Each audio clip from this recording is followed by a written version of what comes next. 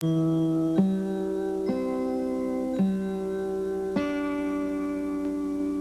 history of the American westward migration is rife with legends.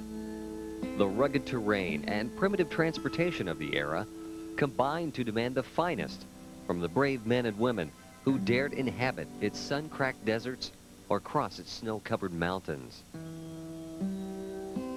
The men who chose to confront the harsh elements of the Old West became known as cowboys. Cowboys slept out under a star-filled sky cooked their meals of beans, salt pork, and black coffee over the open flames of a roaring campfire. They faced danger and uncertainty every moment of the day. They were men expected to perform their best under the most rigorous of conditions. In this century, Hollywood has provided us with the image we now associate with these brave men.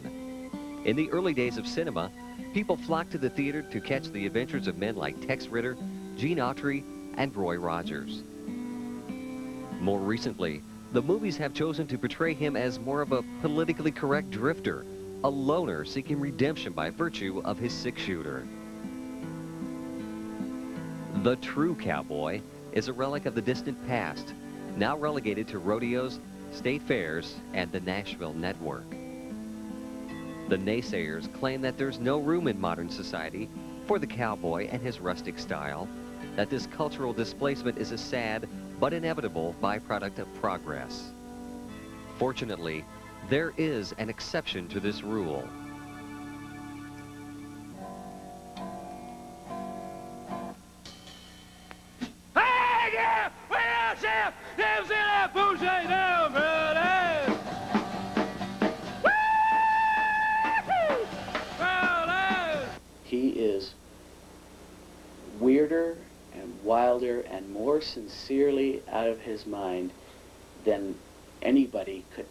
Ever have imagined.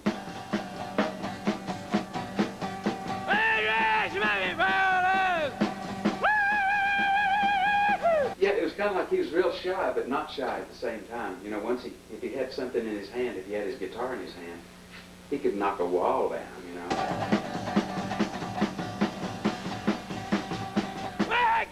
to the show! Bugs makes fun of me so, girl, eh?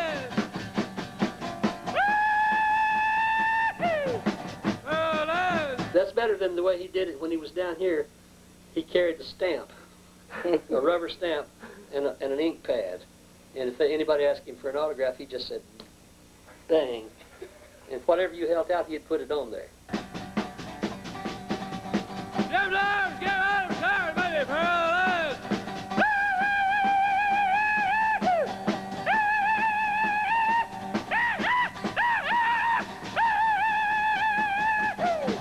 He's not insane. He's not like dangerous or like mentally retarded. He's eccentric.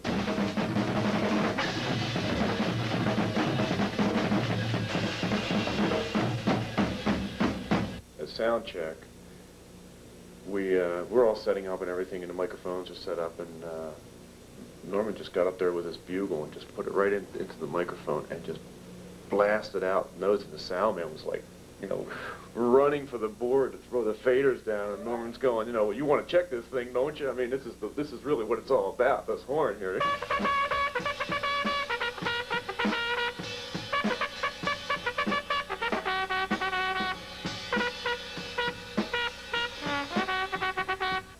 Used to come down there to our gigs, and sometimes he would like bring his trumpet or something and, and stand outside and play his trumpet. He sat in with us a couple of times down there.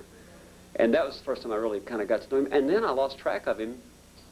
And the next thing I knew, he was, he was on Laugh-In.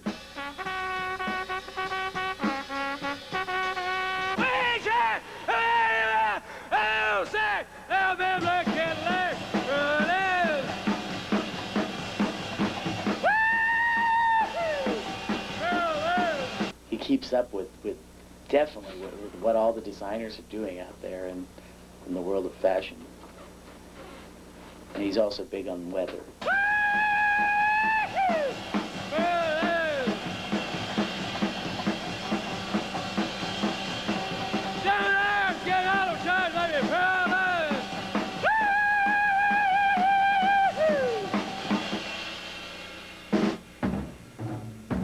Well, I think it's a cotton picking smash.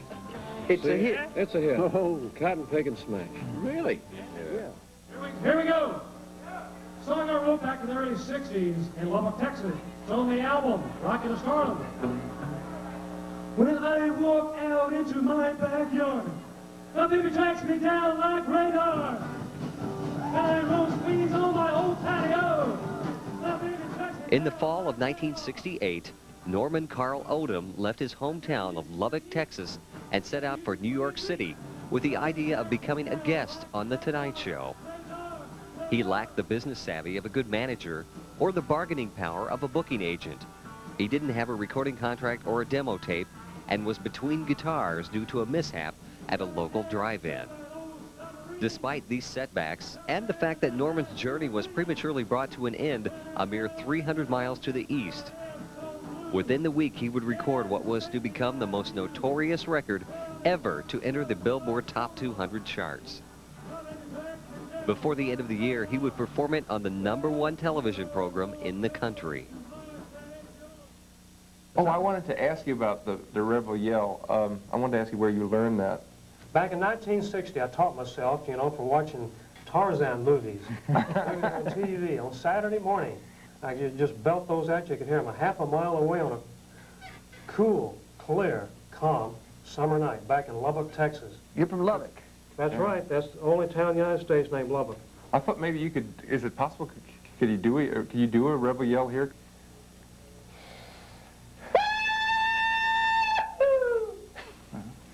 That, that's a rebel yell.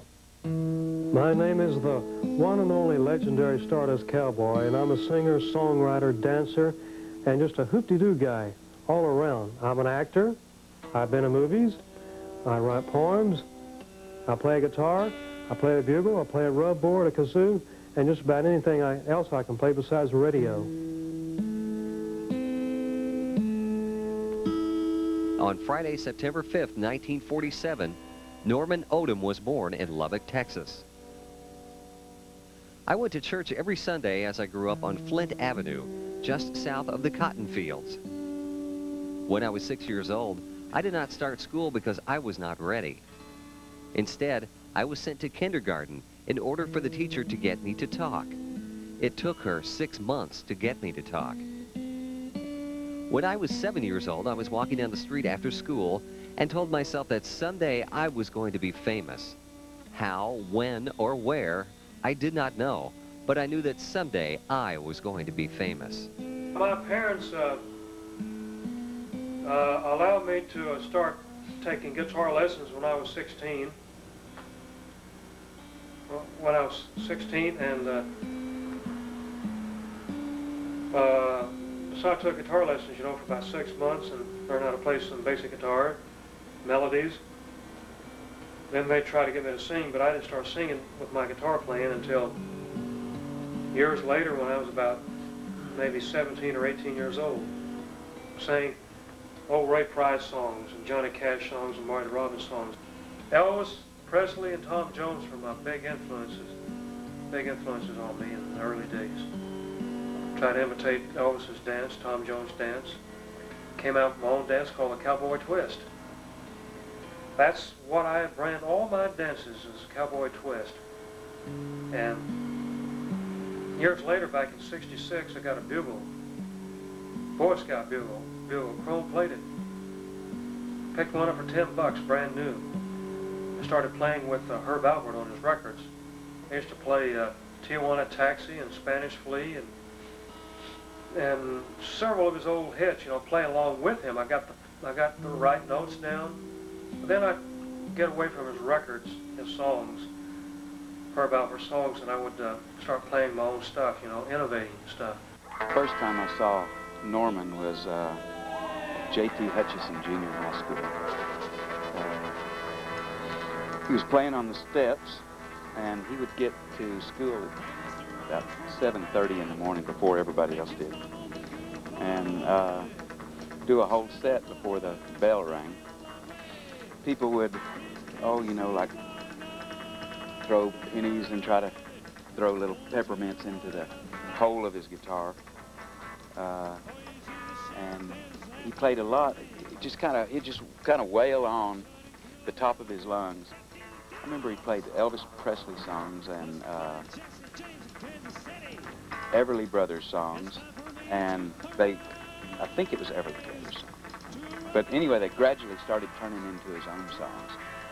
Uh, so I'd, I'd see like a, some song like Hound Dog all of a sudden turn into Paralyzed through a kind of chain of events.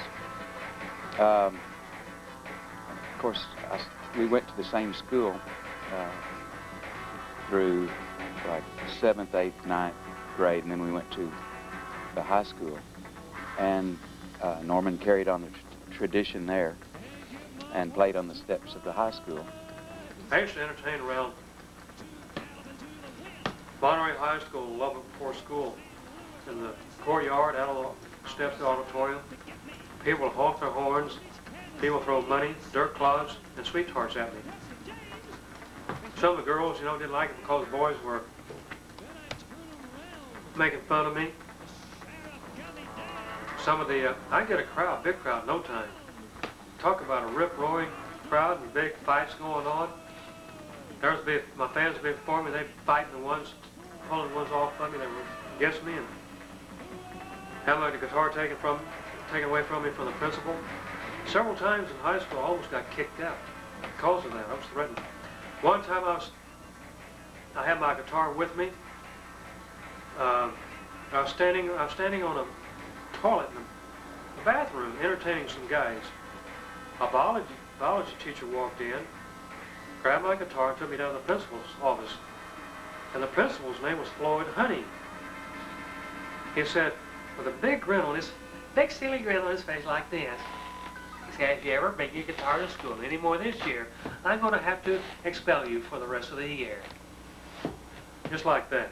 By then, he had worked uh, a bugle into his set, and uh, he had also gotten him a car with uh, that he had painted a map of the moon on top of the car.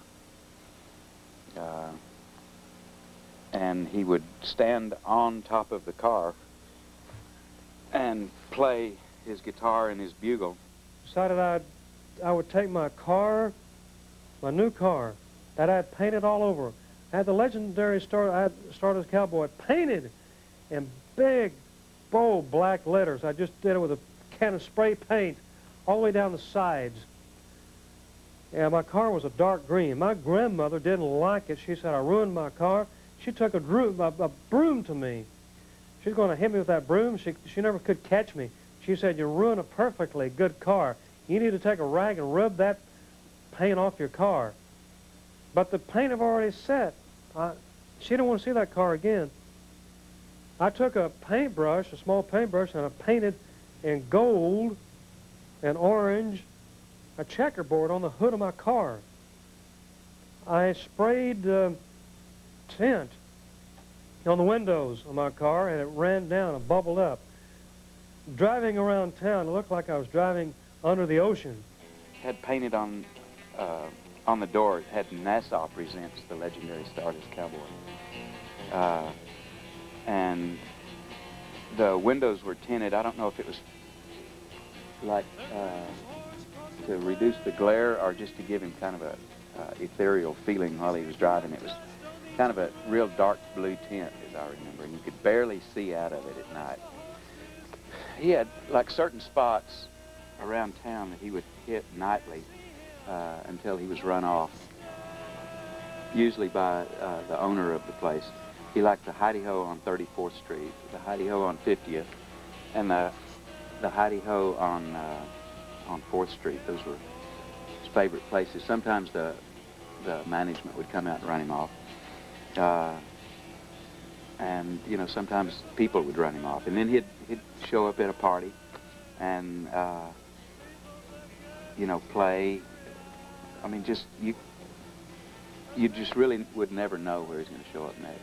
I saw him play out at the Hi-D-Ho, and uh, we, we, there was also a, fu a, funny gig that we played one time that, that I think was even might have been the Flatlanders. I, am not certain about that. And uh, but, uh, and Norman came in and was inside the place, and then later on in the afternoon, he was out on the parking lot. When, when we went outside, he was out there playing, and so we all gathered around and listened to him play. I remember driving by one time, and there was this guy out on his car, wailing away, and uh, was my sister actually was was driving the car. She being older than I, and uh, she kind of gave me this look like, who? She knew who. I think he was in her class, or maybe a, a year or so ahead of her, and. Uh, rumors had already spread, and probably some actual true tales had spread, but you didn't know what to believe. The cars would all be um, parked illegally. They would kind of come in and park, aiming towards you. It's like a like a drive-in, except instead of a uh, instead of a drive-in movie, here would be uh, Norman out there, uh, the center of of all these cars, kind of aiming towards it. You know. It was different, and for for Lubbock, which has ample parking in all directions, it was, it was a kind of a cute little pattern to see develop on the plains. When I was, had long hair down on my shoulders, mud chop sideburns, a mustache, and dressed up like a cowboy, doing that hard rock stuff, old-time old-time country music fans thought I was making fun of them and country music. And there was a lot, I was told by the owners of clubs, the managers of clubs, a lot of times that they, they had to pull away from. And so these people from, uh, people from, uh, you know, trying to get close to me so they could beat me up. I even had to try to cut my hair off, hair off with a knife. Uh, I was doing that years, I was doing, doing that many years before uh, Willie Nelson started growing long hair and started being a, singing country music and and Waylon Jennings too. I was doing that. I was way ahead of my time. For some reason, he was attracted to these Hi-D-Hos, and uh, and they were, you know, the most dangerous places in town because it was where all, you know, all the fights would take place on on the weekends. All the uh, uh, hot rodders, all the jealous women, and everything. And so he'd be up there playing, and I remember this one night, uh, a few people were gathered around, and this one girl. Uh, was making fun of him, and and he just kind of shined it on like, uh, you know, didn't really pay much attention to it.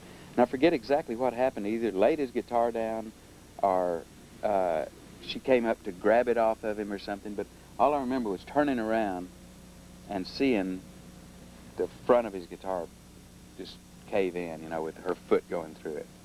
And it was. Uh, you know, it's a real sad day because that was his, was his main squeeze, you know. And we had a little band called the T Nickel House Band, and he used to come down there to our gigs, and sometimes he would like bring his trumpet or something and and stand outside and play his trumpet. He sat in with us a couple of times down there, and that was the first time I really kind of got to know him. And then I lost track of him, and the next thing I knew, he was he was on Laugh-In. Let me get this straight if I can, okay? Let me just stop you here and try and get caught up. You were on your way to New York, driving in your car. You wound up in Fort Worth. You were performing there, and some vacuum cleaner salesman saw your act, liked it enough, and took you someplace and got you to make a record? That's correct. What are the words? I mean, uh, like from the Uh, begin, like from the beginning. Verse, anyway. verse, verse one. Yeah. Okay. I've, I've got a gal Right. away across town. She won't come to see me unless I pull my With shades down. Yeah. Glass shades, you know, sunshades on your glasses. Oh, I thought you were talking about the window shades. I thought there was something going No, on there. no, no, no. That's what oh, you I got like- to think. That's my dirty mind. There you go. Dirty old man. yeah. Uh, we're, we're, When I we're- go to the show. Oh, that's where we left off. Yeah. Pull my Okay. shades down. Pull down. Paralyzed, paralyzed. Right. She put arms around her. She makes squeeze me. She makes me paralyzed. after a certain period of time, I just lost lost track of him because I took off myself and went down uh, to Dallas and played down there, and came back. Went down to Houston and, play, and played and came back. And during one of those trips, Norman had just vanished. You know, at that time is when he went to Fort Worth. I was manager of Filter Queen Vacuum Cleaners in Fort Worth, Texas. And we had an office in the base of KXOL radio station. and there was a uh, recording studio down there, in which we got pretty familiar with a lot of the recording artists that would come in there and the people that run the recording studio. And this particular evening, when we come out of the uh, the office there, the owner of uh, Filter Queen of Fort Worth owned a club called the Locker Room Club. So when we were coming out of the office, we noticed a green 1961 Chevrolet parked in the parking lot, and it had Legendary Stardust Cowboy written on the, the side of it, and there was a gentleman sitting in the car. So, you know, we wondered exactly what he was doing parked there in the parking lot, so we walked over and started talking to him. And at that time, of course, he introduced himself and told us what he was doing, and he had a guitar with him, and we told him we was headed for a club, and if he'd like to, you know, go along with us because he wanted to play us a couple songs there in the parking lot. So we took him down to the locker room club with us and kind of got him familiar with everybody there. And he just kind of fit right into the crowd. And first thing we knew, he was up on the stage there, just singing his own songs, in which we thought that was very unusual, but he had everybody's attention and everybody was kind of following in and and joining the fun. And so there was so much response to him that we knew the, the majority of all the people at KXOL and the people in the recording studio, so we thought, well, heck, we'll just go to the recording studio and maybe introduce him to people and let them, you know, see if they'd be interested in doing anything with him, and that's pretty much where it. We started in about 65 or 66, so it was a, it was a time of real experimentation. So we would stay up for five days in a row and go in and just distort sounds and turn tape around backwards and just trying to see what the studio was all about. Because when we bought it, we didn't know anything. We didn't, you know, we knew bass, treble, and volume, which is about all it is anyway. But across the hall were these guys who sold Filter Queen vacuum cleaners and they were very nice guys. One morning after one of these five-day binges, studio binges, one of the guys came in and said, man, you got to see this guy last night. He came into the Roundup Inn down here, the, no, what was it, the, the locker room, I think it was, where all the hockey players hung out or something. It was like a AAA hockey team in Fort Worth or something. And they hung out at the Dave Bloxam's locker room they said a guy came in. He, he said he was from Lubbock, Texas, and he uh, he wanted to sing for his supper. He wanted to know if he could do a show in the locker room for his uh, for his room that night. And the guy, the manager of the place, apparently said yes, he could. And they told me that he began to bring in instruments for maybe 15 or 20 minutes, and. Uh, you know, they were, they, he said most of them were broken, and there was this amazing one-man band array of homemade instruments, etc., and a bugle, and he, I mean, I, I think he named several instruments. And he said he set them up for a while, and then suddenly he got the microphone and he started screaming at the top of his lungs, and he, he said a waitress threw a whole tray of drinks into the crowd, who probably didn't even notice. and uh, and then he sang for about 30 minutes, and he said everybody was on the floor laughing. And I said, you know, bring him in. And this, now I'm sure this was maybe 8 o'clock in the morning. So maybe at 8:30 or 9, this very shy young guy came in, drove up in a green, kind of a lime green, military green Biscayne. And he had spray painted on the side, NASA presents the legendary Stardust Cowboy.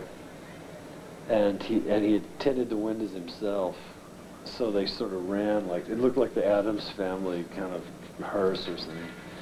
And then he he had also made a surface map of the moon on the on the uh, roof. And I, I never really looked inside. I don't know what he had done in there. But he, he said he was on his way from Lubbock to New York to be on the Johnny Carson show. And I said, well, uh, do you, would you like to make a record? Would you like to record some, some of your stuff? I'd love to hear what, what you do. And he said, I think he said he would like to. we said, go get him and bring him over here. and we'll all have some fun. We'll put him out there and start cutting him so we can see, because they told us that he was the funniest thing they'd ever seen. So, we did that. And it was so funny that some of us ran upstairs and got the people from the radio station. We got the disc jockeys and a couple of the girls, and Jack Murray, who was the manager, said, you guys have got to hear this. Come down here. This is something you got to see and hear. Well, actually, they were kind of hearing it up there. Yeah, they were hearing it, yeah. They couldn't figure out what all that racket was. We, we weren't really real serious about the whole thing. No, really. We took a it real was a fun, scrap It was a fun thing. It was cut on scrap tape at seven and a half, so we didn't waste much. So the original master is at a seven and a half That's IPS, i- uh, as opposed to being a seriously uh, cut uh, uh, multi-track thing. Of course, multi-track wasn't that big then.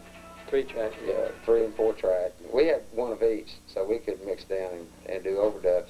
But it was cut at seven and a half IPS on a mono machine. That's the way the thing was cut. So they, they they came down. They went into the control room, and it was so funny. They were just cracking up, and, and the guy Jack Murray said, "Give me a piece of that tape. Give me two and a half, three minutes of that tape." So we just run off a bunch of it on a reel, cut it off, and gave it to him, and he went straight upstairs and played it on the air, which is not ever done in this world. You know, not even back then. What's the second verse, though? When I go to the show? When I go to the show, boy, she sure does make a fellow be stole. Paralyzed, paralyzed. When I look into her eyes, she makes me paralyzed. She sure makes a fellow be... Bestow. That's a word I invented. Not in the. Make the rhyme, right? Right. I just make I just I just make up the words. If I run out of words, I just make it up as I go along. And the band was just me on drums and uh, and him on guitar, or or dobro. He had a dobro that the neck was broken on, so the strings were about that high off the neck, so he could only play on the first fret. We we just set up two microphones, or what? We had the drums set up almost all the time anyway. And uh, and we had a microphone in front of him, and and we were we were just approaching it. Really, it's just put put a bunch of things down on two track and see see what happens, you know. And uh, I mean, we were in a state of sleep deprivation that probably caused us to be more daring with this than we might have been otherwise. But he gave me some instructions on the first song, which was "Who's That Knocking on My Door." You really got to rip on the brake. Okay. With the same with the same tempo, the same tempo as I sing it. Okay. Okay. Okay, good.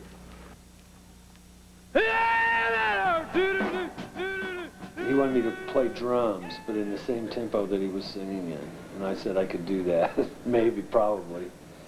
And then he said he was going to take a bugle solo, and then he wanted me to take a drum solo. And I found that all agreeable, and we did it. And it was a, it was explosive. He was an explosive performer, to say the least. And then we did Paralyzed, and then we did maybe, I don't know, seven or eight other songs. I don't really know, it was a long time ago, but we did a lot of songs this first day. But I was so impressed by Paralyzed that, uh, that I took it upstairs to the radio station, which was a top 40 radio station called KXOL. I walked in with, you know, a seven-inch reel of quarter-inch tape of this little mono demo we had done of the legendary Stars Cowboy playing one chord and screaming and, and the bugle solos. And uh, I said, I, I want you to hear this. We just recorded this downstairs, and I think it's really interesting. And he was just probably having his first cup of coffee or something in the morning. And uh, he listened to it, and at first, he didn't know, if, at first I think he thought I was putting him on, and then he went through a wide range of emotions. I, I, I watched him go through like a whole sort of Strasberg routine of of any uh, of any sort of reaction he might possibly have, trying to decide which one was the right one, you know. And at the end of it, he said, "Well, let me hear the other one," you know, because I told him it was two songs. I played him the other one. He, at the end of that one, he jumped up and he said, "This is it. This is the new music." He decided. and he was right too. You know, it was new music, but but uh, he decided that he was going to play it that night on the air, and he was going to promo it uh, every 15 minutes all day long. At eight o'clock that night, I believe it was, they were going to preview the new music by the legendary Stardust Cowboy. And uh, I remember we were all we were all very excited about it. We all waited anxiously in the studio all day until eight o'clock. And then I remember going out to the car with with Norman uh, and you know listening to the radio. And when it came on, it was thrilling. I, I, he he showed no reaction whatsoever. I, mean, I was I was uh, I was really nervous about it myself. But uh, they got they, they asked people then to call in and vote on whether they thought this was the new music or this was the worst thing they had ever heard. And we we thought everybody was going to call in and say this is the worst thing we've ever heard. And but what happened was I think they had more as I remember they had more calls in a half hour than they'd ever had in a whole day. I think they had like 300 calls in a half hour or an hour or something like that and 250 of them said it was the greatest thing they'd ever heard. Now, this is something to highly recommend Fort Worth, by the way. Yeah. You know, that the people of Fort Worth can love this and embrace it so so instantly. And the telephones lit up, and everybody called, and everybody started driving around, wondering what in the world's going on. And I think within the same, within the couple of hours, we they came and got him, and we took him up there and interviewed him on the air. And then it got worse. Well, I wanted to write a song that would captivate everybody, and one that was wild. And uh, I took, uh, first I looked at Elvis Presley's music, and, and his music was too slow for me, so I wrote a song, you know, fit my style Mm-hmm. and fit what I was looking for.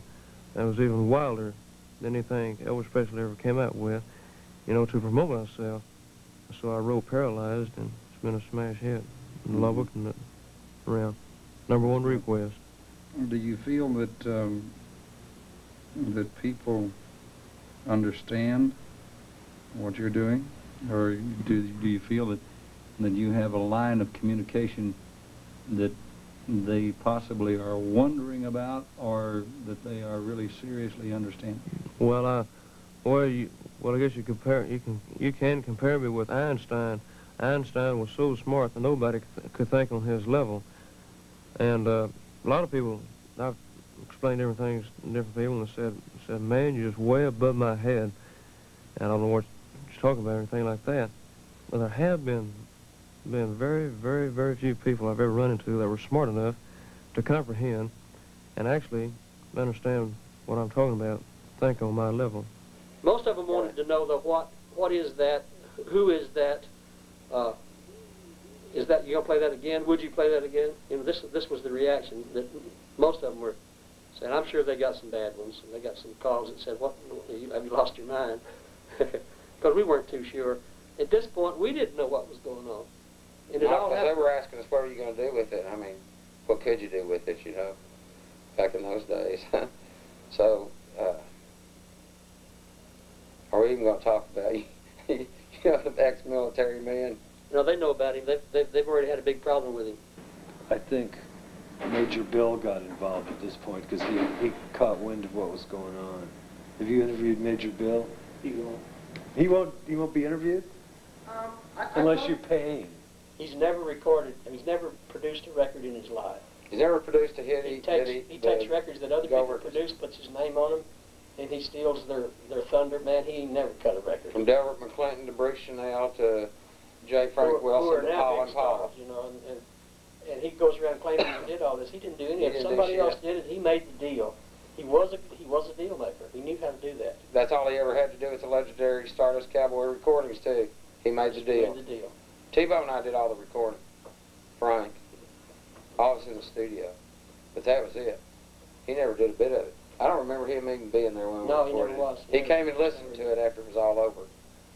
I mean, how hard was it to do? He didn't do anything. All he did was. All he did was. I mean, he did. He had a significant part of it, which is he sold it to Mercury.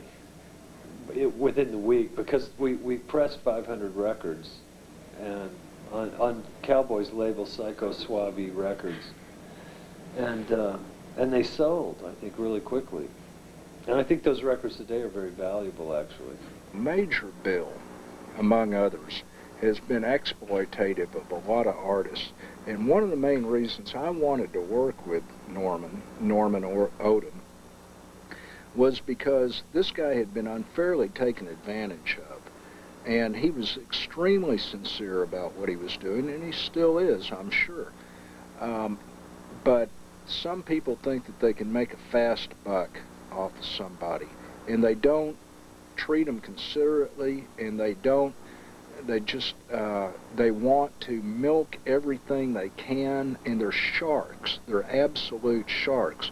And the music business is just rife with persons like that Uh, we talked to Major Bill on the phone a couple of times before we headed down to Fort Worth for the interviews that we had to do down there, and he seemed like a nice enough fellow. He's, you know, pretty jolly on the phone and pretty cooperative, and had some some good things to say. And so we told him we were going to be down there, and could we interview him? And he said, yeah, that would be fine. So on the on the day that we arrived in Fort Worth, we gave him a call and to set up a time when we could talk to him, and he it was almost as though we were talking to a different person. He uh, was a little short with his answers. He uh, was kind of curious as to who else we were talking to and and uh, what else we were going to be doing down there. And finally, he said, "Well, I don't know when a convenient time would be. You're going to have to call me back in a few hours." So I said, "Okay, fine. We'll we'll do that." And finally, when I called him again, he just he just flat out said that he would not he would not grant us an interview unless we decided to uh, change the format of the film and make it about him as opposed to the legendary Stardust Cowboy, who, whom he con- who, whom he considered uh, more or less a, a, minor footnote to his career. Which, of course, if if you talk to Major Bill at any length of time, um, over about 10 seconds, he uh, will will shove in the fact that that he uh, had something to do with a couple of records that you know that, that were pretty big hits in the in the early 60s. But as it turns out, he really had not much to do with them at all, other than the fact that he would find these people, sign them up, and take their money. As far as I'm concerned, uh, them other people didn't have a damn thing to do with the legendary Stardust Cowboy. I put out I put out a record called Psycho Suave uh, record with a couple of things on it with Paralyzed and Tootie Doo on it and stuff like that. I made the deal with with with Mercury, which cost me eternally ever making another deal with them and stuff like that. And I'm the only guy got him on Laugh-In and and stuff. As far as they were concerned, they didn't have a cotton picking continental thing to do with the cowboy. And uh, that's the thing. I mean, you know, if he is anything, I made him what he is. So uh, that's the point, you know.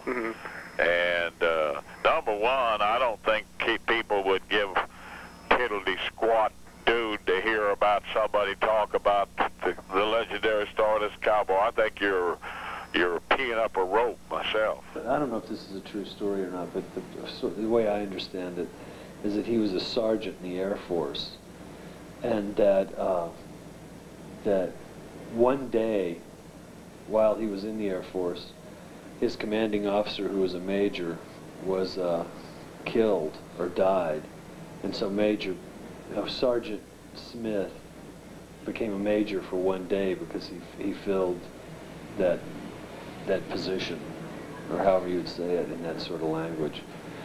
And uh, and when he retired after 20 years in the Air Force, he was retired as a sergeant, but he was reading the manual one day and he found out that when you're in the military, you're retired at the highest rank you held when, you- when you're in the military. So he went back and got retired at a major's pay with a major's uh, title, I suppose.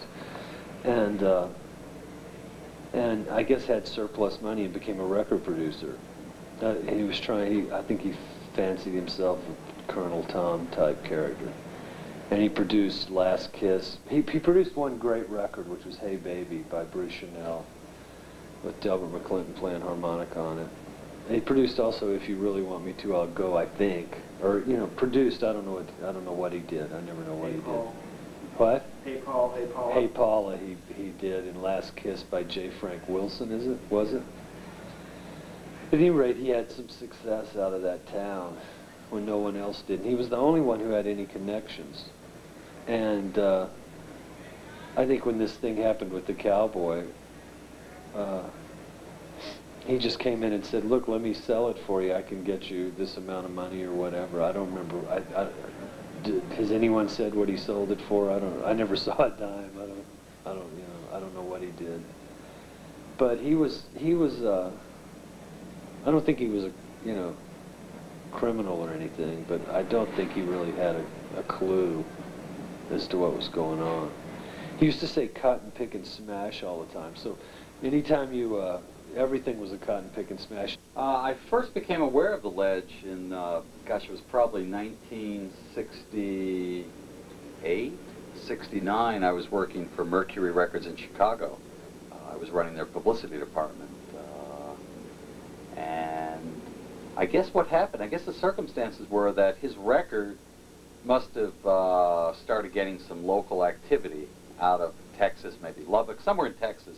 And the record was brought to the attention of Mercury Records by Major Bill Smith, and Mercury picked it up for, uh, for national distribution. Uh, and that's when myself and uh, a fellow who I worked for named John Sipple, uh, who ran the publicity department at Mercury, um, John, uh, John and I both worked on The Ledge in terms of getting television appearances and uh, getting press, getting people to write about them. I, I couldn't believe the record. I'd never heard a record like this before. And I mean, I'm, I'm a big pop music, big rock fan. Um, I didn't quite get it, you know. Um, but there was still no escaping the fact that this record was happening locally out of Texas, so there was something going on for it. And when our promotion department got involved, uh, they must have gotten some airplay on it because it did uh, it did make some moves on the Billboard charts. I mean, I don't know how high it got, uh, but it was definitely at least a mid-chart record, which would have meant that that it got airplay and sold.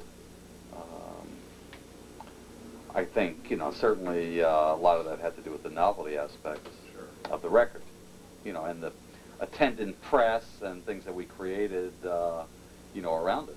I mean, I read the two, probably the two things I remember most at that time about him and about that record were number one, there was a story that he got his start uh, playing on the top of automobiles at the Dairy Queen in Lubbock. Uh, that was one story that, that struck me, you know, somewhat unique. And secondly, um, and I was hoping to see him when I looked at the uh,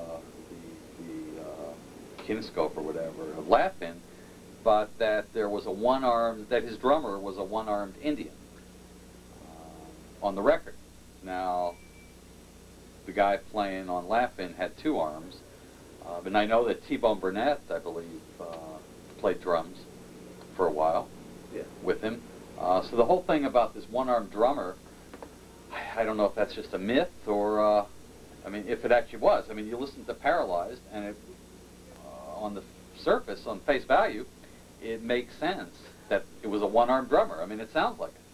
The whole thing, probably, I think, happened in a month. It went on the charts for two weeks on the charts.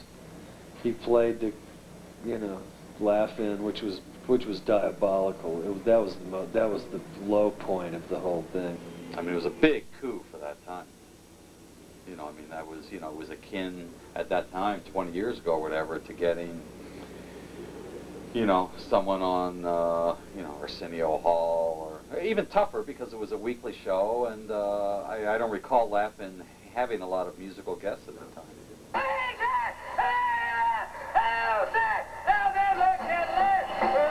I didn't catch, I missed like one of those words. Uh, could you recite the uh, whole word Okay.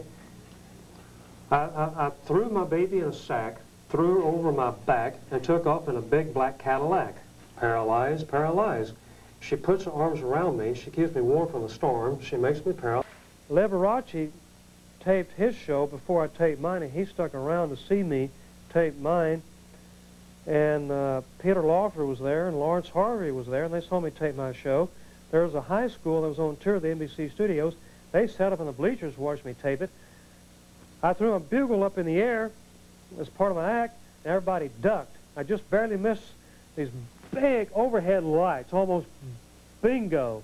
Almost knocked one out. Uh, I sat over there and talked with Liberace when he was out there uh, before we actually did the did the taping, and uh, and he was out there. They were getting him set where he was going to stand a lot of good. That did. But Liberace said that this guy's worth a million dollars. yeah, I hope so. Everybody knew it was it was going to happen. I don't remember who got the word out, but everybody knew that he was going to be on there. Uh, and so all the, uh, you know, all the people who knew him in Lubbock were gathered around the TV sets. I remember being real mad about it uh, because,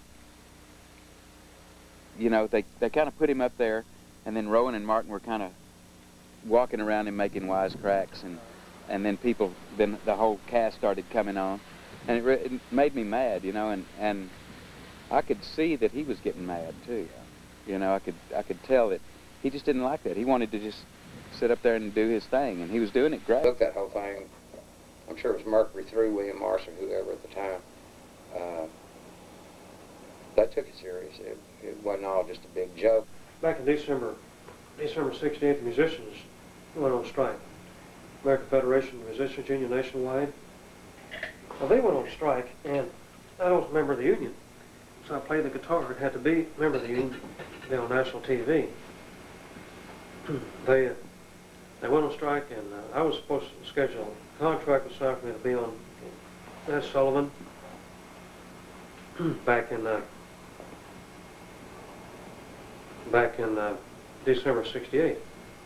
I was supposed to be paid two thousand dollars every year. Every two year, every time for the next two years, I was to be paid the same amount, no matter where I performed. That's how he made. That's why he, how he broke in new talent for the big time. So the musician strike was over the following May. By that time, Paralyzed had- slid down the charts, and uh, that was it. Couldn't be on Ed Sullivan.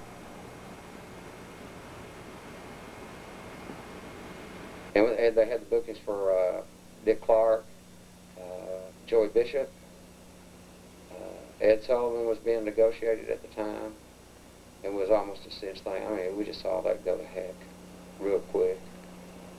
And uh, that strike lasted for four months, I guess, something like that. It's obvious that it, had it been able to spread instead of being stymied like it was, you know, if, if you sell 5,000 records in one day in, in Cleveland, Ohio, you know, you've, you've sold as many records probably as a Garth Brooks would today, if not more. And I don't, I don't know. I guess he kind of had a following, you know, cult, whatever, by the time it was all over, but they were so scattered, you know, it wasn't any way. And Mercury kept releasing records, but I don't think any of them ever had impact like Paralyzed. I took a trip in a Gemini spacecraft, and I thought about you. I passed through the shadow of Jupiter, and I thought about you. I shot my space gun. Well, I really And I- I'm sure there was some mismanagement. It was happening too fast, even for us. And uh, of course, after it all died down, then everybody kind of lost interest. And that's really where Chip came into it because he was trying to keep him going for himself, I'm sure. He get, he got a manager. I think David arranged for him to get uh, Whitmore, Chip Whitmore, as his manager. But this was after. And I'd had a lot of I had had a lot of problems with with Whitmore, and there was contracts starting to fly every direction, and it was starting to really get muddy, and I just backed out. I just said I'm not going to get involved in all this because it, it was heading for trouble, you know. This was after, though, everything had happened with Mercury. There weren't any more records. Uh, he was wanting to do some work, and Chip had some deals set in uh, some of the joints around town where he could get him in there, and, and he could make some money. And this was after the television stuff was gone. I mean, the impact of it all. I want to tell you how strong Chip was. This is no joke. He practiced law. I mean, he was practicing law, winning cases and everything else. He wasn't even a lawyer. Getting divorces for people. yeah, wasn't even a lawyer. Monday, May 5th, 69. My former manager, James Edgar Whitmore Jr., had me to move into his apartment that he moved out because I didn't have a place to stay. So I, so I sneaked in out the back window, you know, for several days, having a suitcase, Sunbeam electric razor, bag of marshmallows, fruit pies. And one day I came back in, came back in from work, and everything was gone. So I called the cops and I've been robbed. Was actually the owner came and took my stuff. I was sitting in there in the living room. Here came the police, Fort Worth police, with the owner of the apartments. So you're not supposed to be in here. You're trespassing on property. So they, so they uh, conveniently handcuffed me and took me on down to a city jail. A couple hours later, I thought I was getting out. But here came some journalists. One was with the AP, one was with Four Star Telegram, Fort Worth Press, and Dallas Times Herald, four other, other newspapers. They interviewed me, but they didn't want me to mention Major, Major Bill Smith's name for fear of a lawsuit. He's powerful man. Come, yeah, come. This went out on the A Associated Press, you know, by me being busted as a vagrant in my former manager's apartment, former manager's former apartment there at Fort Worth. Another story to that effect is Major Bill Smith took a tape of about 50 some odd songs that I'd recorded T-Bone Burnett studio one day. He took the master tape, stole them from him, had them in his office. So I wanted them back. Did Chip put him up to that? Chip wanted to get a hold of everything. I know. So he sent the cowboy down there one night to break in there and get the files and everything. He took every everything out of there. And he walked it. Of course, he didn't have a car. I went down to a studio and had had the master tape run off onto a seven-inch reel. And at the house, I played the songs through, wrote them down on paper, and and unraveled the uh, reel of tape down the middle of Henderson Street in Fort Worth. So Major Bill Smith and nobody else could get their hands on my music. And I had written an outline, uh, an outline of a musical motion picture called The Stardust in Your Eyes, which is about the legendary Stardust Cowboy. And I had, had written 18 songs that goes with the musical. I had people trying to steal the songs from that, steal that idea from me. It's about the legendary Stardust Cowboy, who he is, what he does, throughout the entire uh, two-hour musical.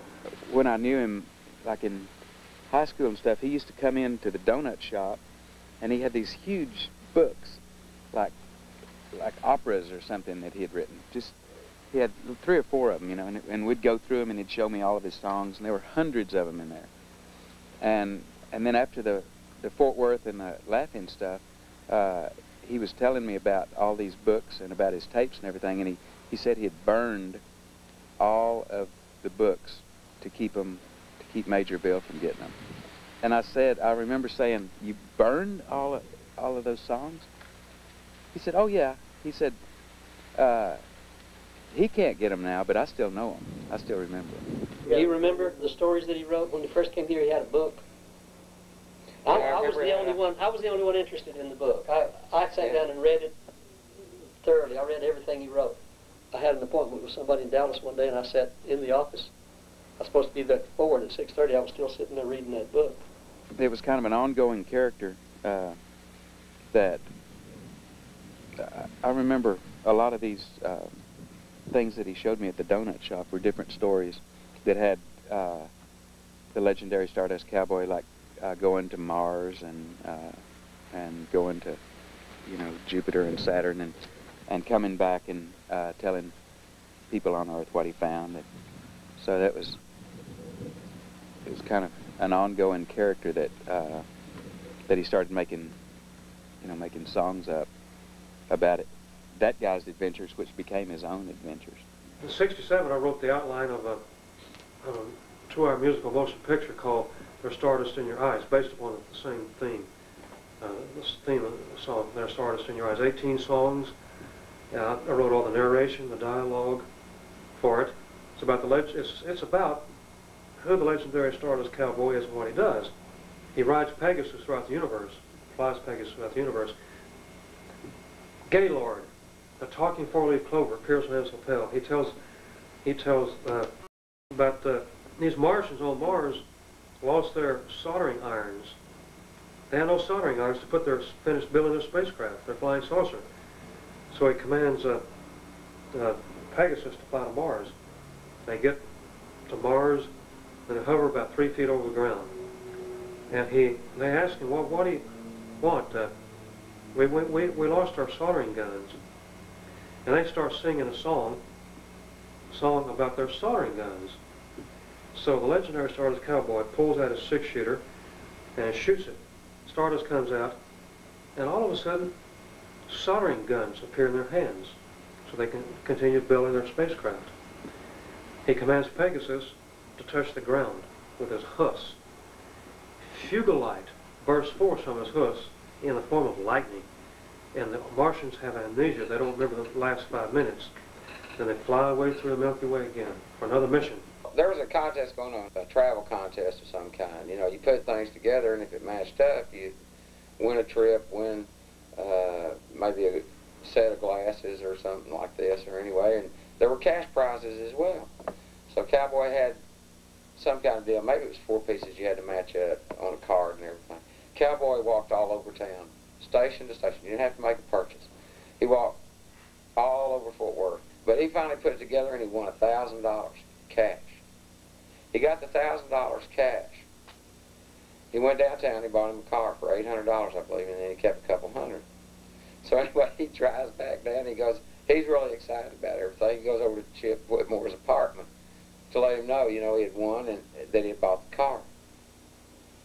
Chip said, okay. He said, Ledge, this isn't good for your image to have this car.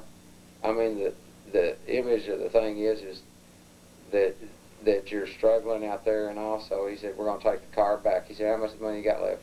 Ledge said, two or three hundred dollars. He said, okay, give that to me. Did that. He took the car back down there and sold it back to the guy for six hundred bucks.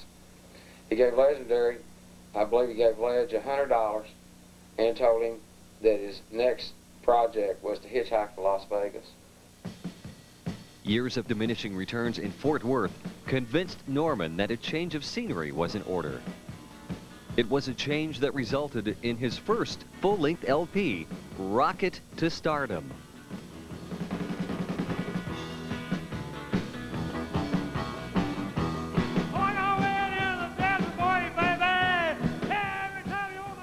I had been on for about uh, two or three weeks at that point uh, doing the radio show, and I was going to do a live show at the uh, State Fair of Texas at the Modern Living Building. So the first time I actually met the legendary Stardust Cowboy was uh, a rendezvous at the radio station there in Dallas, and then we went directly over to the State Fair of Texas, and we did this program um, and it was a live show originating from a booth in the state fair. We had speakers set up where we, my program generally was rhythm and blues and rockabilly, but I played some of his records. And for the rest of the material that was going on, people would just walk by and kind of look over at you and kind of wonder why these people, you know, this person in this booth is irritating them. And then we'd put on the legendary Stardust Cowboys recordings, the stuff that was on Mercury and Psycho Suave. And um, I'd cue up a record and start it playing and then maybe talk with him just a moment and look up and all of a sudden there were people lined up about six deep and you know like hog farmers with bib overalls that were there to see their wives cooking you know at the at the baking pavilion or whatever. And then, you know, like some hippies walking by that zip in and bankers and all sorts of different people that just show up. And everybody was standing around with these, like, you know, watermelon grins from ear to ear. And I thought, boy, this is really odd, you know, that you get such a diverse crowd that really is going for this guy's recordings. The program that followed us was uh, the Panthers and the People, and it was hosted by the head of the Dallas Black Panthers chapter. And he called in. He didn't want to come down to the state fair and do his program live from the state fair, but he called and he said, keep on going, brother. We're really digging your show. There. And even the Black Panthers were digging the legendary Stardust Cowboy. So, you know, at that point I was thinking, now, you know, there's something really unusual about this right here when it's getting such a diverse audience that universally was really, you know, just giddy about his music. Nobody else made him. He is what he is, and he had been for quite a long time before any of these other persons came onto the scene. And there were a few people that were appreciative of what he was doing and there were many, many more people that were exploitative of what he was doing. And so I felt like this guy needs a fair shake. At the point uh, that that was released, I had a fairly new company, Amazing Records. And I put this out on a subsidiary series, the Luna series. It was um, definitely on the fringe, but this is a market that will accommodate the fringe, which actually is the fringe. I mean, this whole independent record business is the fringe. So I didn't have any problems. I didn't sell a whole lot either, for that matter, but I didn't manufacture that many. We pretty well sold everything that we manufactured, but it was only, you know, 1,500, 2,000 copies. There were 100 copies that were put out on uh, Passionate Pink vinyl, which is uh, the legendary Stardust Cowboy's favorite color. Um, in reality, that was Parton Pink. I found a box of uh, vinyl in Nashville that was labeled uh, Parton Pink, and Dolly Parton supposedly had gotten an EP made, and she had her manager get the vinyl to match a tube of lipstick, and and so that was the Parton Pink. But we called it Passionate Pink because that's uh, Ledge's favorite color. And uh, let's see, we had clear vinyl, which uh, when played on a turntable, it looked like it was running backwards. And then we had um, blue, and uh, that was in honor of the Blue for America, blue in the flag. And then there was the ever popular uh, gold vinyl, which uh, there were a limited number of those put out, more than the Passionate Pink, but still it was limited. And that's because the uh, legendary Stardust Cowboy had always longed to have a gold record. So I put out a gold record for him. I played drums on his recording session he did for Amazing Records. We did that in Grand Prairie, Texas, like in 1979 and 80, I believe, or maybe it was a little later. It must have been like 81 or so, 82.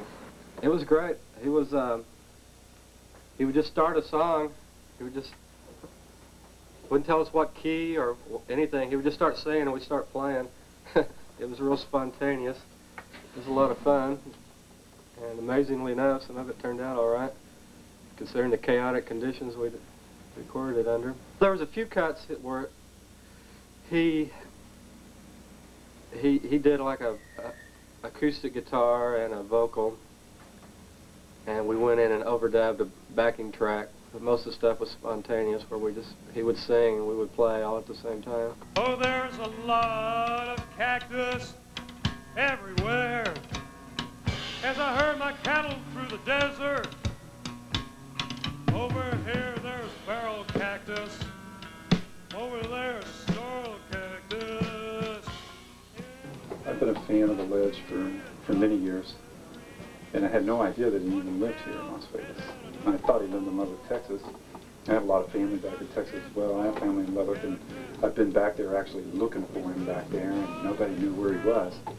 And uh, I came back out here and and found out he was uh, living right here in Vegas, and I really couldn't believe it.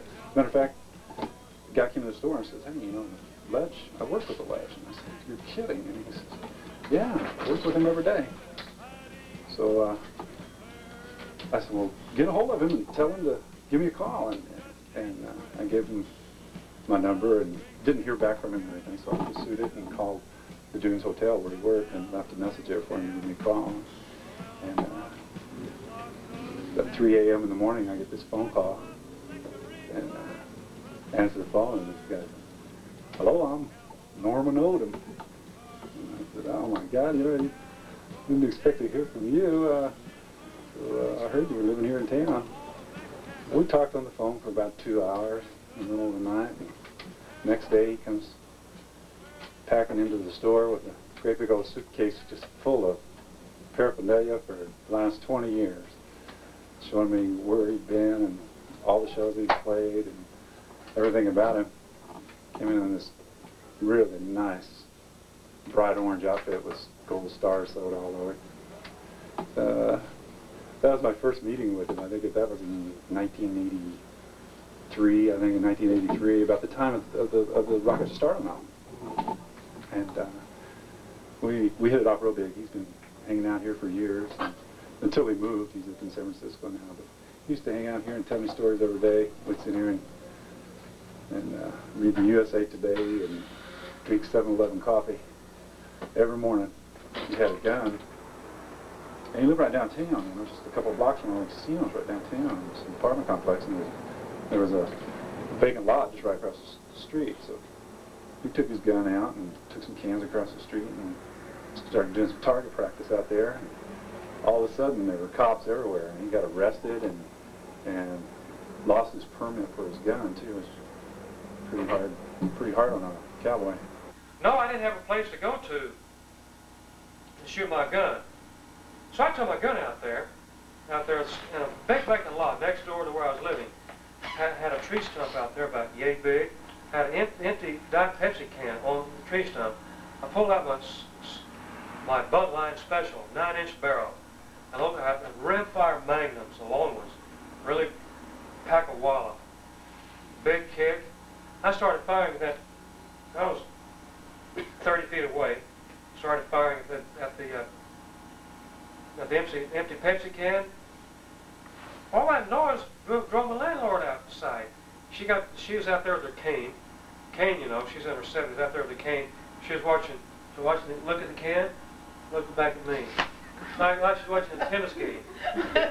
and all the tennis, 15 tennis came out of the rooms. Rooms like termites, you know. They were doing the same thing, back and forth. and they, they saw, they, their hands went back and forth so much I had to use a sorbet junior later on the next. well, anyway, I missed the can. And all my bullets went bouncing in the parking lot across the alley and at the blood bank.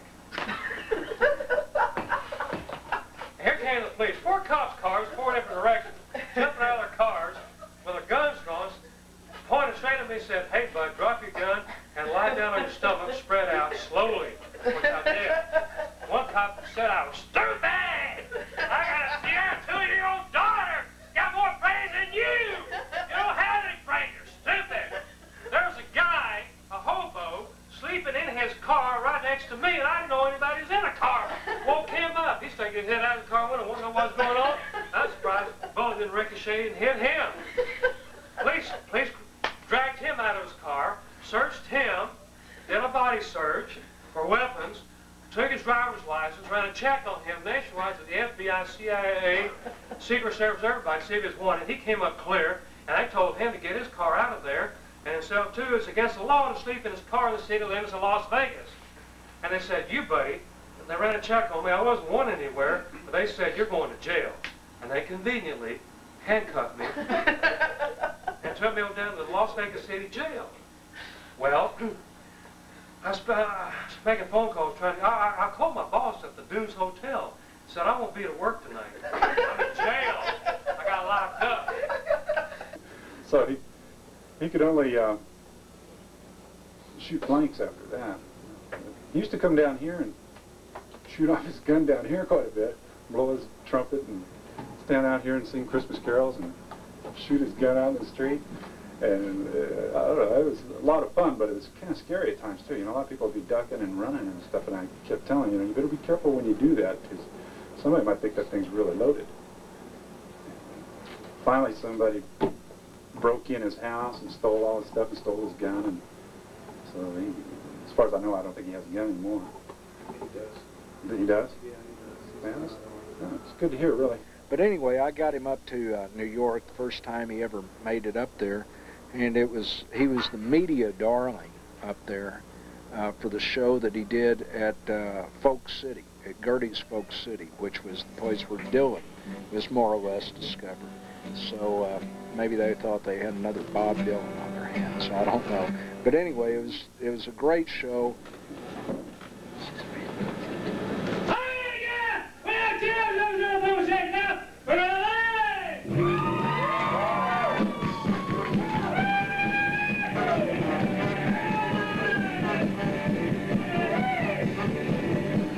Um, I backed up the legendary Stardust Cowboy on uh, guitar and trombone at Folk City. Uh, it was his New York debut.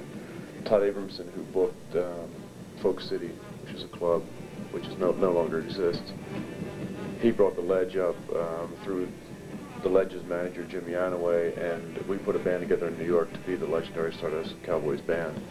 And uh, it was really great because uh, he showed up the night before for, re- for rehearsal and was complaining that someone had stolen his guns. And so we were we rehearsed Ghost Riders in the Sky, which is where he makes his entrance, and he's supposed to be shooting off his guns, and uh, just didn't know what to do without his guns. You know? he was like completely lost.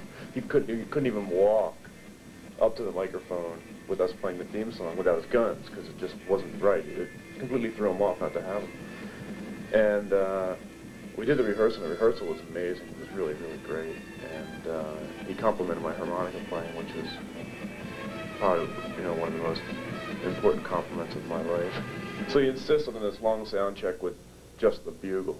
You know, before we even, I don't even know if we even ended up playing the songs, like a bugle check, you know.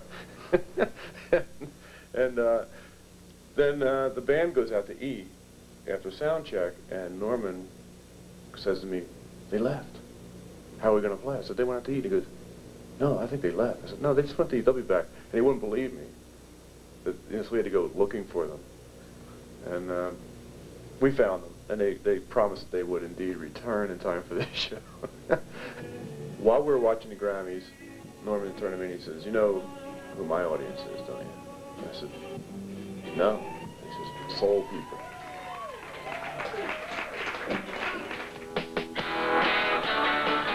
We went into Holland, and it has a pretty liberal media, too. And uh, he was uh, sort of the toast of the town there. Uh, locals were really shocked at the media event that he created the first time that we went there. And they were saying, well, you know, people like, oh, Tina Turner or I don't know who else, Julian Lennon was just having some recordings coming out. Nobody received anywhere near the response that the legendary Stardust Cowboy did. And uh, in two weeks' time, he did something like 55 interviews um, while we were there. And uh, it was just one person after another. Some of the major uh, media people were literally lined up outside this little cabin that we had in Nijmegen, Holland, which is right on the German border, and uh, out in the woods. And uh, of course, the legendary Stardust Cowboy took it completely in stride. It was all to be expected. But uh, the locals were just shaking their heads going, we've never seen anything like this. It's like the second coming of the Beatles or something. But anyway, we did the shows, and uh, it was really well received, and it was good rock and roll. The band really was perfect with the legendary Stardust Cowboy, and it gave him that kind of uh, foundation that he needed to really be able to take off, to have the confidence that he had a good band in back of him and he could just rock.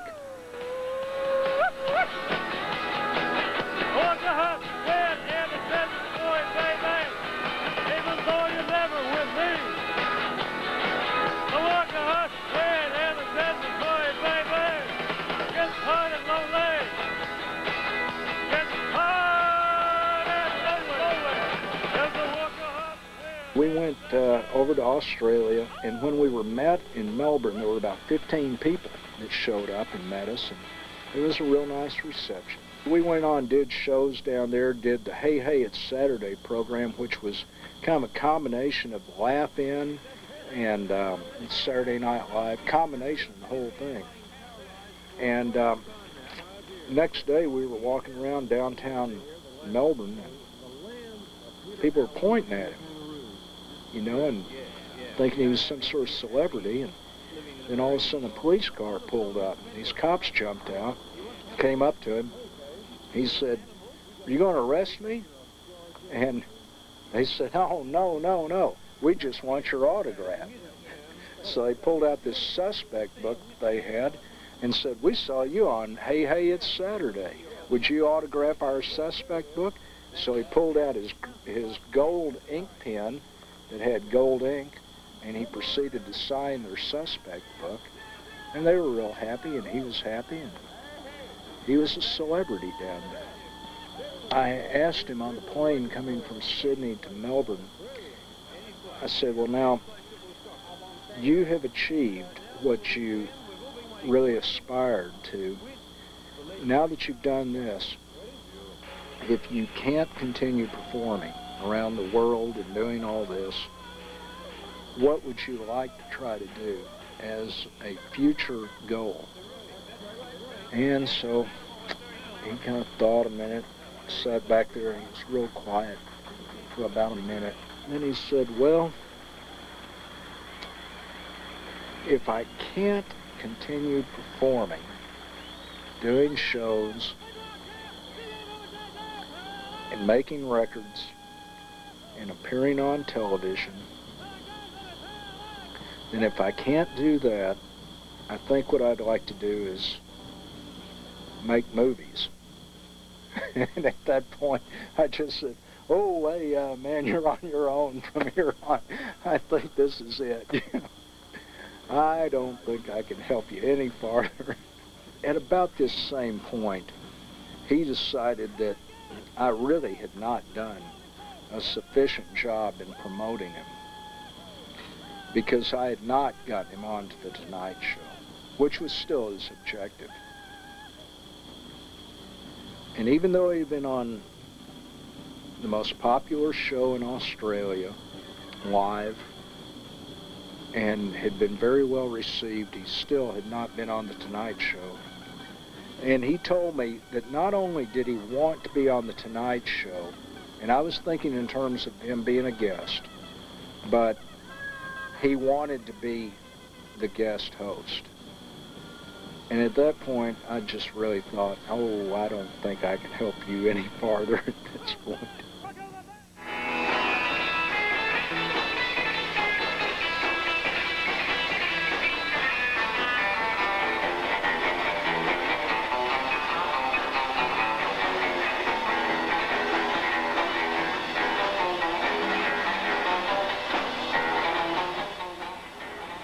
First met the Ledge in July of 1985.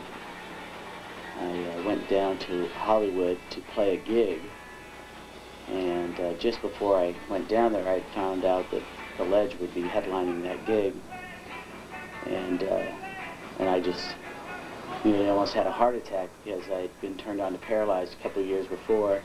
So uh, we went down to the Club Lingerie in Hollywood and um, and met the guy and played with him, and it was truly one of the most awe-inspiring things that ever happened to me.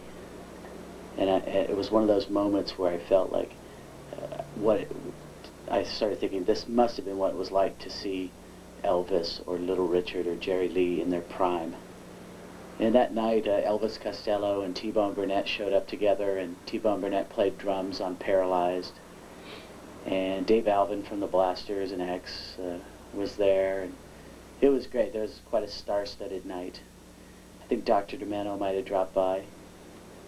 But uh, it was really incredible. So immediately the seed of thought, the, the thought was put in our heads to try to bring the ledge up to San Francisco. And uh, so we got in touch with him over in Las Vegas, actually with his best friend at the time, Wayne Coyner, and uh, said, okay, how do we get the ledge to up to the city? I said, okay, well, here's the details. And uh, the ledge came up on Valentine's Day of 1986. And uh, not long before the gig, uh, his, you know, we were under the impression that his band would come with him but the band couldn't make it, so they asked my band at the time to back him up. So all of a sudden, not only were we having the honor of putting on the very first Stardust Cowboy show in San Francisco, but also we would be his backup band. So he comes into town and um, he, he brings with him the biggest rainstorm we'd ever had in uh, in the area, like in 20 years and uh, it was like some biblical prophecy or something, you know, the flooding everywhere, and it was just crazy. And I thought, oh my God, this has got to have something to do with the ledge. Sure enough, every single time he came to the Bay Area after that, for the next few years, it rained, no matter what time of the year it was. Middle of the summer, the ledge would come to do a gig, it would rain, you know, which was very odd. I'm standing in a trash can about you.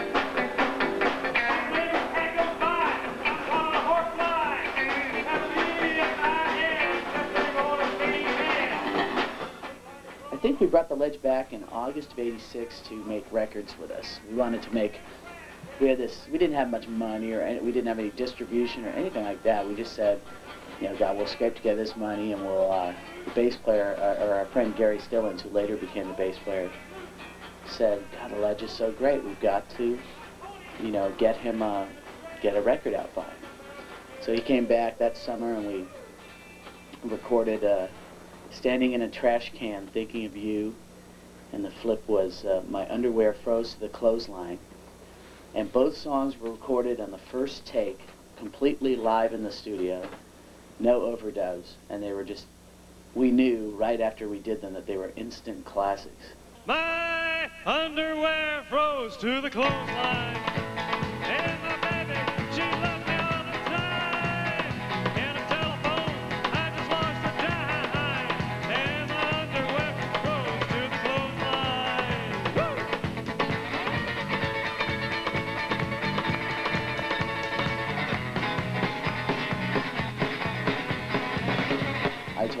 Look, you're living in Vegas.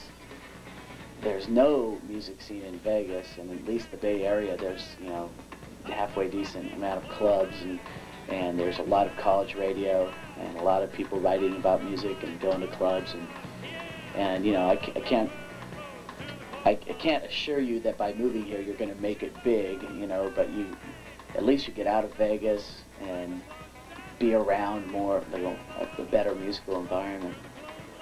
And uh, so I convinced the Ledge to move up here. We put out these records. Uh, then, then we did another album, I guess, uh, 88. And uh, that came out over in 88 or 89.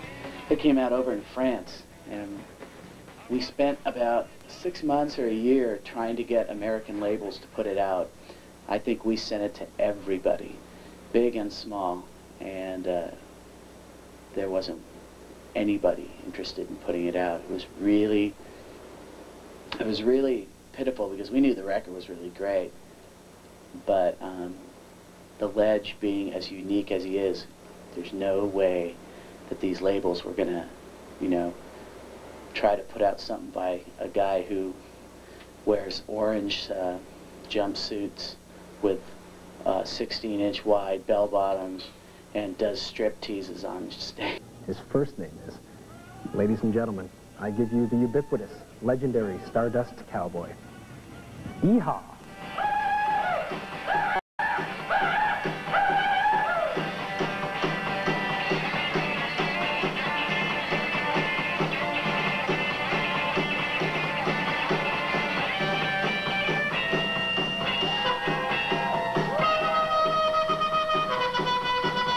Mr. Stardust's eccentric style earned him a lot of attention in the late 60s, most notably from David Bowie, who was so enamored with the ledge, he borrowed his name for the Ziggy Stardust project.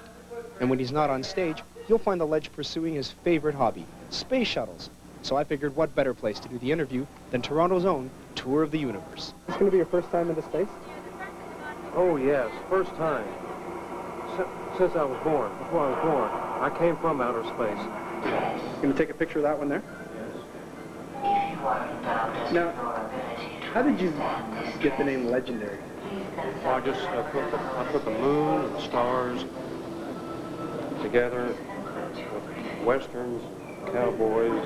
Came up with Stardust Cowboy, and later on, uh, after many years of entertaining, I just added on legend, legendary because uh, I'm a living legend on my own time. We always hear like, when we're touring around, how, people always want to tell you how they first heard the ledge. And uh, one guy that we met in L.A. a few years back said that he, uh, he had just moved to some town and he walked into this bar and all these regulars threw quarters at him. And he was bewildered. B22, play Yeah. B22. And they go, and he picks up one of the quarters and goes to the jukebox and puts it in because they said, you know, play B22. And he plays it and is paralyzed. This is the way these regulars initiated new patrons to the bar. Somebody else was shopping in like the late 60s or early 70s and bought a box of laundry detergent. And for some reason, Oh, yeah. there was a copy of Paralyzed taped to the box of the detergent. And nobody knows how or why it got there. A friend of mine named Bill Delacruz, he was either managing somebody's campaign or running for a student body office at Southport High School in Indianapolis. And uh, uh, they used to have their campaign commercials on the public address systems in the morning uh, at the time when they were giving all the rest of the schools announcements for that day. And uh, he used to start his campaign uh, speech, I forget if it was student body president or student council president, probably student body president. And he used to play Paralyzed. Now this was at about 8.30 in the morning. And uh, he got away with that one or two days, and then they, they finally shut him off. They, they, they wouldn't allow him to do this anymore because it was too upsetting to everybody. He played me this single, and I was just, I, he said, have you ever heard this? And I said, no, Legendary Stardust Cowboy. I was thinking it was going to be like, you know, Western songs or something, you know. And then I heard it, and I just could not believe what I heard. It was, to me, it was like hearing Ornette Coleman's first record or something. It was just uh, it, it, decomposing, know, before my very ears. But it really changed my life, having heard that record. I remember being profoundly affected by it. Um, I had been a, an old fan of The Who. I liked the idea of, the, of them destroying their equipment. And uh, though uh, actually the ledge didn't really destroy anything, he, uh, he seemed to be uh, on the ledge, and he was uh, very, um, I thought it was very spiritual, and I, I believe that uh, he, he came along at a time when there was a lot of overt political oppression in this country. Now, I'm not saying that he was making a political statement, but I believe that uh, he was a, a, good reaction. And I, I, also believe that he sort of accessed, he, he tapped into a lot of uh, a lot of the rage and anger that people were feeling, but because of societal pressures were afraid to express. And I think that uh, uh he, he, was very important. Uh, he was very important to me. And uh, um, over the years, uh, the people that I've told about his music or played the single for, they uh, generally, the more a person knew about music, the better they liked his record. Now, some people, when you played them the record, you, they thought maybe that you were trying to goof on them or, or make fun of them or something because if you li listen to this record uh, uh, and you don't know a lot about music, you might think that it's just a joke, but I think that in terms of the spontaneity of the recording, it's completely lo-fi. I mean, the drums are the drums are so recorded in such a way that they, they're actually the signal is breaking up, and he he crosses a lot of lines in terms of what would be thought of as quality. And uh, to me, uh, I believe that uh, as uh, a painter named Hans Hofmann once said, is that uh, quality is synonymous with the spirit in which something is made, and I like the spirit that this that this record was made in.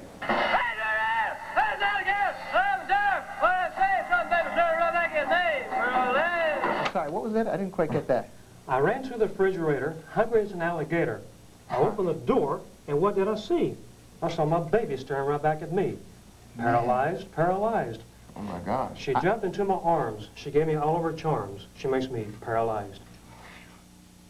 I gotta get out! Oh, I can't see myself! Who's this out? Paralyzed!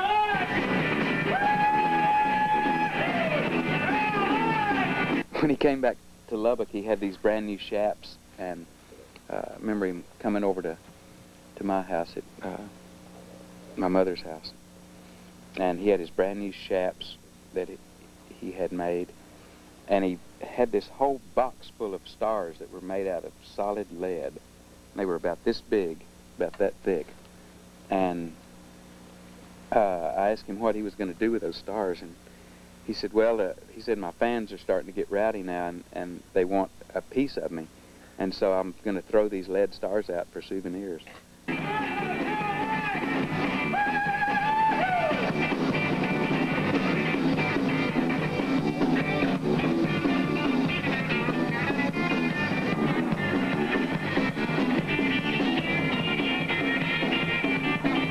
When I met him at the airport to pick him up at Dallas-Fort Worth Airport, um, he got off the plane and he was carrying a manila envelope in hand. And um, I just said to him, well, let's go get your bags. And he said, well, I don't have any. I said, what? You don't have any? And he said, no, this is all I brought. And uh, I looked at it. He just had a manila envelope in hand. And I said, well, what do you have there? Your songs? And he said, no, I have this for you. And he pulled out articles about Shecky Greene and Morey Amsterdam from the Las Vegas newspaper. And, uh, you know, I looked at this, and of course I was impressed by this, you know, um, but I was surprised that he traveled that light.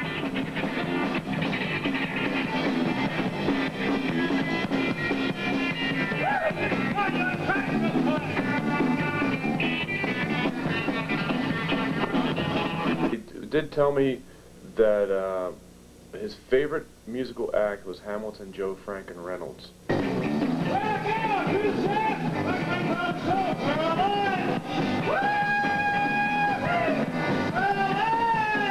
We had some interesting comments from the bartender at the Palomino, or one of the employees, and uh, he gave us our money and gave me a good long hard look, you know, one of those looks, very judgmental look. First thing he says to me is, "Uh, "Are you related to him?" I said, "No, I'm not. I just play guitar." And then he said, "That is the worst shit I have ever heard in my life. Here's your money." And I, I didn't feel like, you know, debating the point with him, you know, then, but I feel he was wrong. I, I mean, I think there's a lot worse shit than the ledge.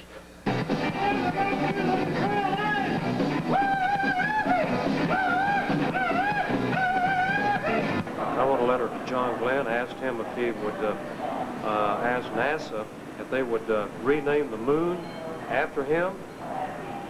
Be that body of rock be named John Glenn because it orbits the Earth, and he was the first American to orbit the Earth. He wrote me a letter back and said, uh, it will always be known as the moon, but thank you for your interest anyway.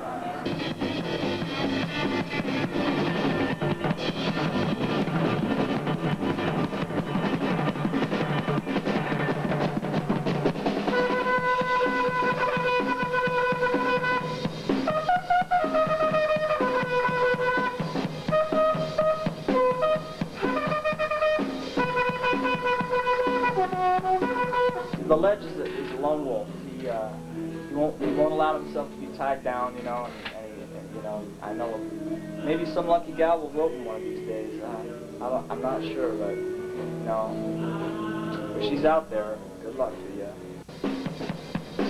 Roseanne! You're going back to me, Black Cadillac! Cadillac!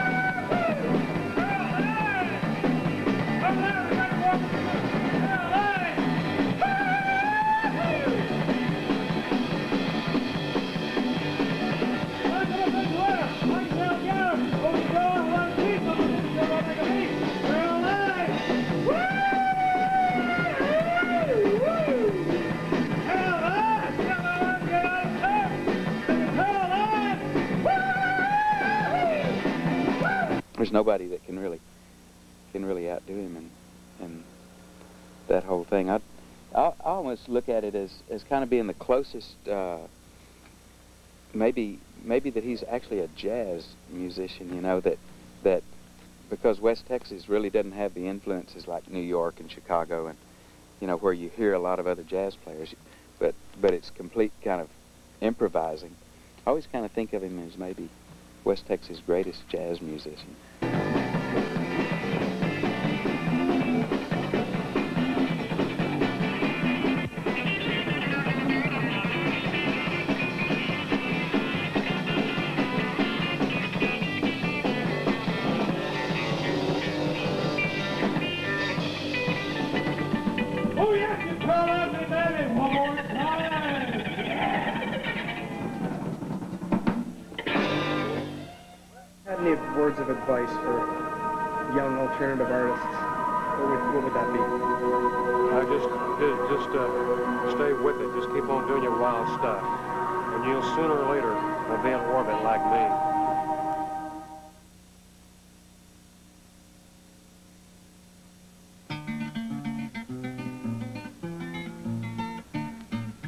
gonna rocket to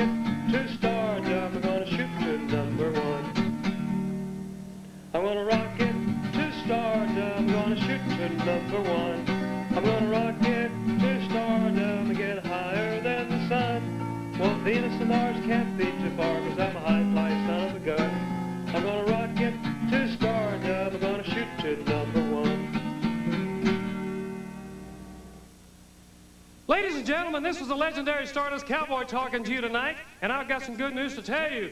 I've got music critics and record reviewers the world over. They've written about me in magazines and publications, newspapers the world over, that I can't sing, that I can't play the guitar, that I don't know how to carry a tune. Well, I've got good news for you fine people out here tonight. Neither can Kenny Rogers nor Mick Jagger. So all of us rascals are in the same boat.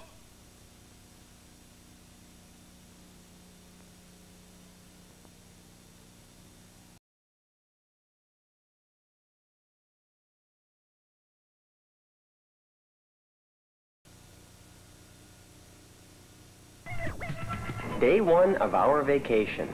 And here we are entering Texas. Ew, that's farty. That's a lie, Jerry Jr. It really stinks. That's a lie, son. Keep your eyes.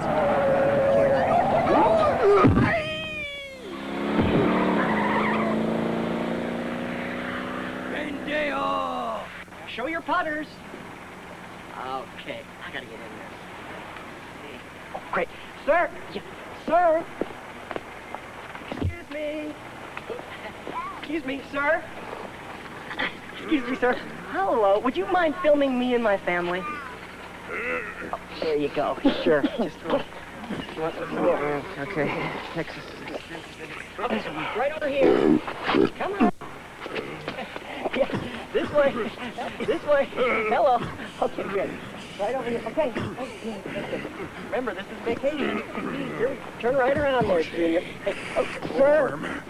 Sir, I'll thank you to get your derelict hands off my wife. All right? Fuckface.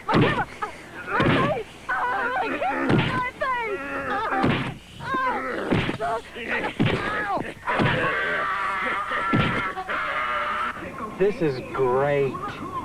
My word, what is that? Where'd he go? I don't know about this. Well, it does say family style. Bang, bang, bang, you're dead, Melanie. Bang, bang, bang.